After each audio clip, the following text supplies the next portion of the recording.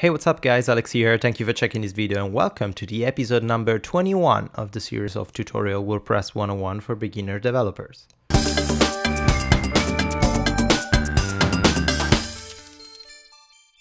Have you ever heard about Monstroid?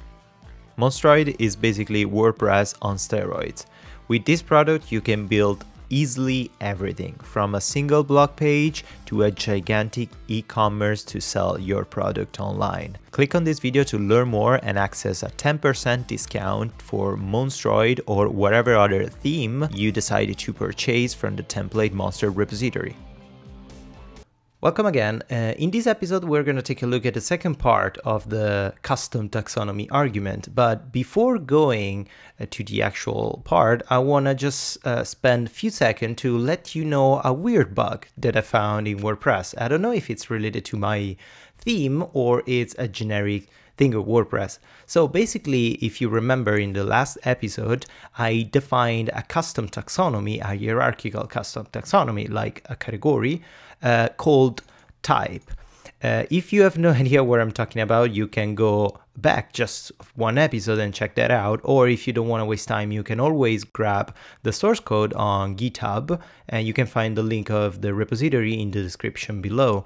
But if you notice here, I have type and type as a registered taxonomy. And if you access, if you're at the same point as I am, if you access the uh, homepage of the current installation of our awesome theme, you will notice that the carousel, the slider with uh, my categories and latest blog posts for per each category, it's completely gone, it's not working. So after a few time, I noticed that no error was triggered, uh, no PHP issues, no issues with WordPress, nothing was uh, coming up in the backend or in the front end. It was just completely gone. And every time I used to like uh, delete the custom taxonomy, the carousel was coming back. So I finally found that if you use a custom taxonomy called type, this custom taxonomy, this name type, is interfering with the current categories section of WordPress.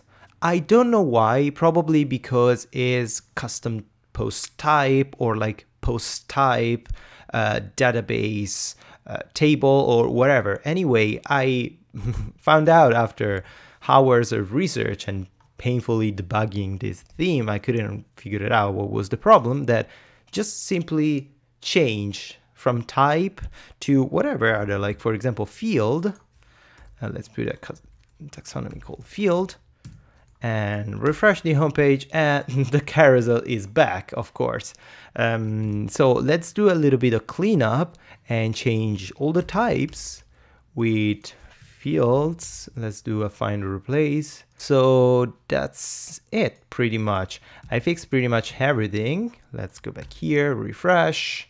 Let's go in the, in the backend so now that I changed the name of the actual taxonomy that I created from scratch, so the field is not uh, type anymore, uh, I don't have anymore the settings that I put inside because those settings are related to the unique name that I define for every uh, custom taxonomy. So now I have to basically recreate what I had before.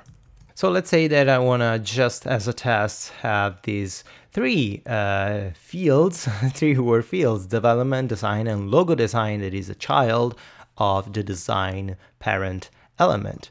Let's go back in our custom post type portfolio and let's select logo design and design as a field. Let's go back in the nerd continuity. Let's click development and let's go create a new logo, just logo design without the actual design. So update, let's go back, and now we have the field. So if you notice also in the um, backend, I have the column field inside the backend. So when I'm looking at all the items of my custom post type, I actually see all the custom taxonomies that I selected. And if I select uh, a specific custom taxonomy, the system is going to filter all the posts, the custom post type associated to that custom taxonomy. This is happening because I declared true in the arguments array the show admin column. If I don't declare this or I put false and I refresh here, you will notice that this column is gone. So this is really helpful because if we have a lot of different custom taxonomies or different hierarchical custom taxonomies, for example, like some uh, tags related uh, input, and the tags can be like a lot. For example, can be like 20, 30 tags or wherever. That could happen that we don't want those tags to show in the administration panel because we don't want to clutter the admin area with all these tags that we don't need. So uh, we can specify false to avoid to show those tags in the admin panel. So now it's time to create our other taxonomy type. We created the first time a hierarchical taxonomy type like a category. Now we want to create a non-hierarchical taxonomy type like a tag list. In my case, I want to use this not hierarchical taxonomy to create a list of softwares that I'm going to list for every custom post type that I used to create the specific portfolio piece of work that I'm showing. So uh, basically, we could repeat everything we did here and just specify hierarchical false. But because I don't want to repeat all this it's, it's kind of tedious. Like, I, I think you kind of understood uh, what these labels are for and all the important options that you have here in the arguments, I can streamline a lot the registration taxonomy function and write everything together without creating variable, without creating uh, an array inside a variable, and just using straight the register taxonomy function and put everything inside there. So let's take a look on how to do that and let's see if it's working. Of course it's gonna work, or maybe not. Just let's take a look. So let's write register underscore taxonomy. And here, as a first parameter, we have to specify the name of our non-hierarchical taxonomy. In my case, I want to use it uh, software has the name and here we want to specify just the custom post type. I know that I'm not gonna need to specify other post types because I don't want a post of pages to have these uh, custom taxonomy so I can put this straight as a string and not as um, array, WordPress is gonna automatically recognize that this is just one single value and it's not an array of values, so it's not gonna create any error and it's gonna handle it for us. The third parameters, because I didn't specify an argument, an array of arguments with all the options, I can open directly an array inside the register taxonomy function. Let's go into another line just to make it more readable. Uh, here we can define all this stuff that we define in, in the args variable, but directly inside the register taxonomy. And the options that I want are just really, really super basic. So let's just specify simple label and my label is gonna be software. Then I want to specify the rewrite option. Actually, I can copy here, rewrite. I want to also this one to be rewritable, so software. And then the other important value that I need is the hierarchical value that in this case has to be false. And that's it. Basically, in this way, we register a taxonomy in a super fast way without specifying all these options that, of course, we can customize. But if we are in a like speed up development mode and we need to get things done as fast as possible, we can streamline this entire register taxonomy type with just the most basic and important stuff so we can test it right away uh, inside our development environment without customizing stuff that probably we can do later or we don't actually need. So let's save it. Let's go back in our administration panel, refresh, and let's take a look here inside the custom post type. We have software, another uh, section, and this section is a tag. So because I didn't specify uh, any label, WordPress is gonna fall back automatically to the tag name uh, labels. So I'm gonna have no tags here, add new tag, add new tag, blah, blah, blah, and so on and so on. But the important thing is that this thing is gonna exactly work as it's supposed to be, like a tag. So now I have in uh, custom post type, I have the software option that I specified as a label. And here I can put inside Illustrator, Photoshop, and Krita. Let's say that I use these three software and update system. So if I go in all item of the custom post type, you will notice that I don't have the column here as I specified before because I didn't specify the arguments show admin column. And this is pretty great. We have the option to show whatever we need and whatever we want. So uh, no limitation on that side. Now we have to go in a front end and access our work page where I listed all my custom post types.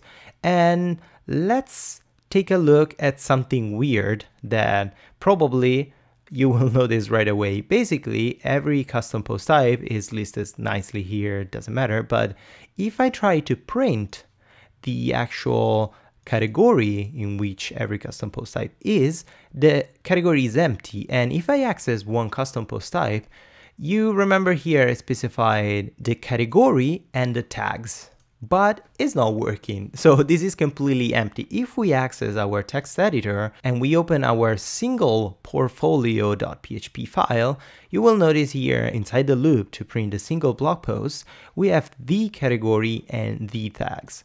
So the issue here is that because we created a custom taxonomy, uh, that is a custom category and a custom tags taxonomy, WordPress cannot access those custom taxonomies by default using the pre-built the category and the tags. So we have to actually call a specific function to retrieve those information saved connected to our custom post type.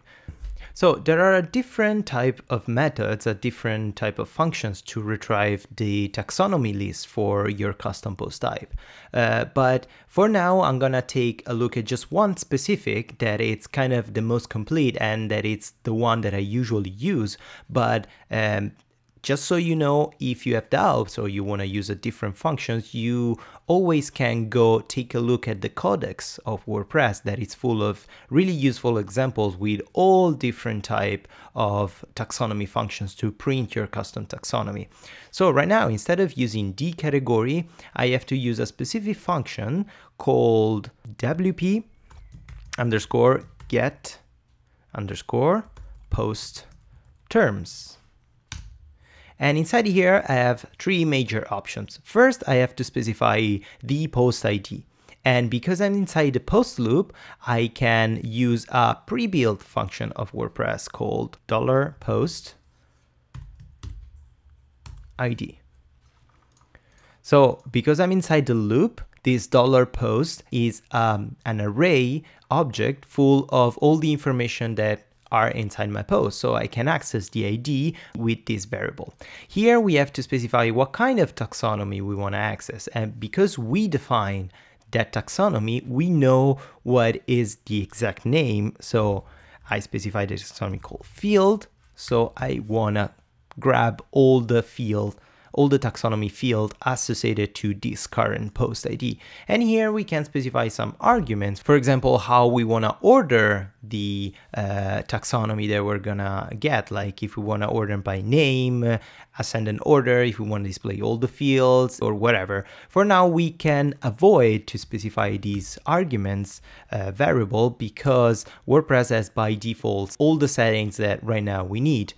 So now we have this function that is automatically grabbing all the custom taxonomy associated to this current post type, but we cannot print just simply this function because this function is retrieving and is creating an array of variables. So if you know a little bit of PHP, you will know that you cannot print uh, with an echo or a simple print uh, function an array of values. You have to loop through the array and print specifically each single uh, argument inside that array. So what we have to do, we have to store this function inside a variable. And my variable is going to be like um, terms underscore list equal. And now I have everything inside here. And now I can create, let me create a little bit uh, better reading functions. So I can create in here uh, for each loop, for each terms list as term, open curly brackets. I'm gonna print every single term echo term and access the argument inside the term that it's name.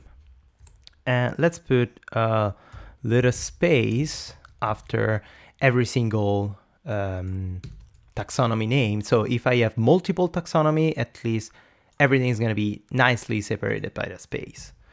Um, let's access the front end and let's take a look. And as you can see here, now I have the uh, custom taxonomies that I specify for these developers live custom post type that are design and logo design. So here we have a bit of an issue because uh, we don't have a nice separation between the custom taxonomies. So what we have to do, we have to create a check inside the loop and see if this value is not the first one. So it means that there's a second value, there's a second taxonomy. We're gonna add a comma before the term name. So let's do that. Basically, let's create a simple check that we already did multiple times during this series of tutorial. And it's by creating a variable that is a numeric variable. In my case, is $i equals zero. And every time we loop, we increase this $i variable by one, specifying like the plus plus, this one is going to be for every each loop is going to be one, two, three, four, and so on, so on. So we can check.